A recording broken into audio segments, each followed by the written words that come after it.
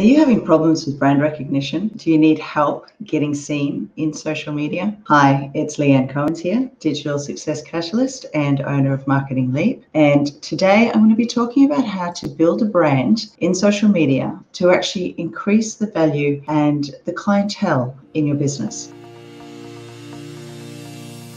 Want to learn more about branding and social media marketing? Want to lose the marketing overwhelm in your business? And figure out clear steps to grow your business in the digital space, then make sure that you click the button below and subscribe. And let's have a chat today about social media growth and branding your business. I guess one of the first questions is why is a brand so important? Well, branding is basically a marketing term or a marketing practice in which you create a name, a logo, a, a visual representation of what it is that your business actually stands for. And um, it is actually almost like a all about who you are as a business and how you want to be perceived. Perception is a big thing when it comes to marketing because it really is all about how your clients see you. So one of my favorite quotes is a quote by Jeff Bezos, who actually says that your brand is what other people say when you're not in the room. So your brand name can actually be created to give a perception or a feeling of loyalty, of trust, of being a premium brand, um, or on the flip side, being a mass market, depending on how you show up, how you put yourself out there, how you're advertised, and how you promote yourself on social media. One of my favorite sayings is that your brand is your client's sum total of their emotional attachment and experience with you and your business. So, the first question that you really need to ask yourself when you are showing up and showing up online, when you're doing videos or lives like this, or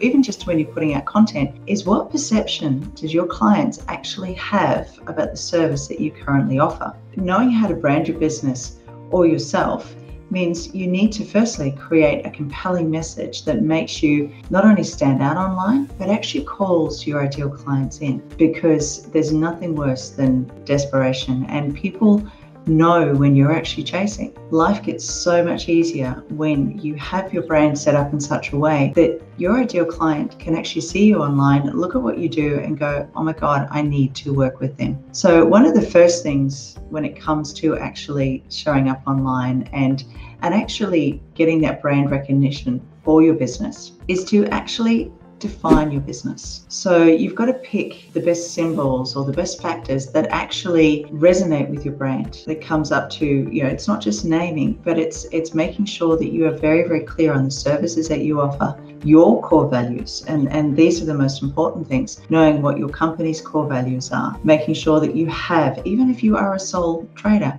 a mission statement and a vision statement so that you know where you want to go, you know what you want to achieve, you know what the outcomes are that you're actually giving your ideal client. So once you've actually got that mapped out and you've defined your business, because you are so clear on the outcomes and what you offer your ideal client, it makes it so much easier to convey that message to them. And of course, it gets into making sure that you've got the right calls to action. And again, it's all about portraying yourself out there and putting yourself out there so that you are actually calling in your ideal client. The second thing that you need to be really, really clear on is who your ideal target is. Now, there are so many mediums out there now, especially now that, you know, Facebook and, and Google are, are fighting with governments and everything else. There are so many different platforms. And as a business owner, and especially as a small business owner, you really can't afford to be on every single one. So, what you need to do is actually define who your target market is. Now, often what I tell my clients is have a look at your client base that you have currently and pick that one client who loves what you do, pays you on time, because if they don't pay you on time, you don't have a business, you've got a hobby. They tell everybody about you and you love working with them. So there are the core things you, that you look at. And, and again, when you look at them, you can actually say, if I had 10 of them or 100 of them, my business would be set. So that's who your target market is. That's who you're talking to. From there, when it comes to your messaging, making sure that you know exactly what it is that they need. It's all well and good being really great at something, but if you're not fulfilling a need for your target market, you're not going to have a business. So making sure that when you do put yourself out there, you are fixing a need that they have you're making their life easier in some way. That is the fastest way to, to actually get your brand out there. So, knowing who your target market is so important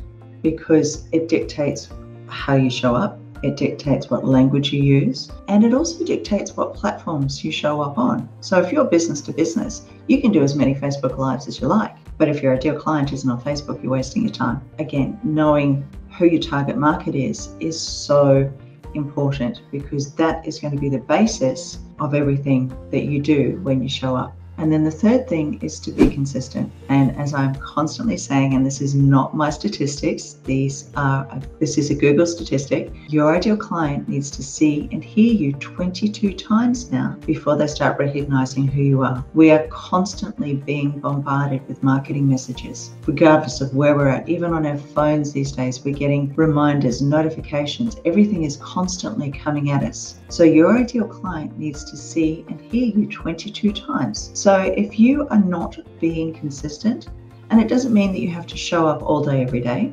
it just means that you have to almost train your audience and your clients to know that, okay, on these particular days, you're going to show up and you are going to drop some information or give them some tips on how their life is going to be easier. So, not only showing up if you are doing video on the same day and the same time, but then making sure that you have consistency across every single digital touch point. And I've lost track of the amount of times that I've started working with a client who will have one particular profile cover image on one platform which will be completely different to what they have on their website, which is completely different again to what they have on another platform. And then they wonder why people don't recognize them. So, one of the things that you'll notice is that nine times out of 10, when I show up online, I'm wearing red because red's my branding color. And it's just that consistency. The minute you start becoming consistent and recognizable to your ideal clients, the more they're going to start taking notice of you. Being consistent in the imagery that you use. A classic case in point, I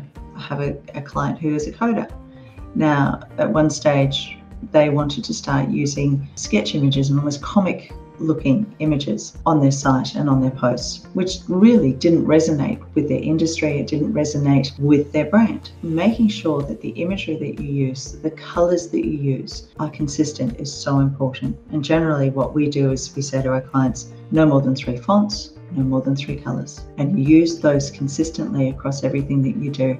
And again, even with your showing up, you've got to make sure that you are showing up regularly and consistently. And then, final tip is to build a strong online presence. So start by actually building those social media pages and getting content out there and showing up regularly. Be the expert, share your story, and, and be genuine and connect in how you can actually help people and, and how you can make their lives easier. So, you know, the first thing is define your business, know your target market, and third, be consistent. If you're not too sure exactly how to start working out what your branding should be, or if you're on the right track, there's three questions that you can also ask. Does my brand easily show my clients how I help them? When I talk about what I do, does my message draw clients in? And does my brand stand out and create a connection with my clients? If it doesn't, then we need to go back to the drawing board. Have a look at why you're here. Have a look at what your mission is. Have a look at what it is. What is the pain point that you solve for your clients? And then work forward from there. So, if you'd actually like to learn more about branding and social media marketing, and if you'd really like to lose the overwhelm in your business and actually define some really clear steps on how to grow your business in the digital space, please connect with me. We do have a series of online courses rolling out. We also have the Digital Success Academy, which is a 12 month program, which will actually just help you get on the right path and actually grow your business rather than flailing around in the dark. So, thank you so much for spending the time with me today. I hope that has been of some value to you. I will see you next week in my next video. Bye.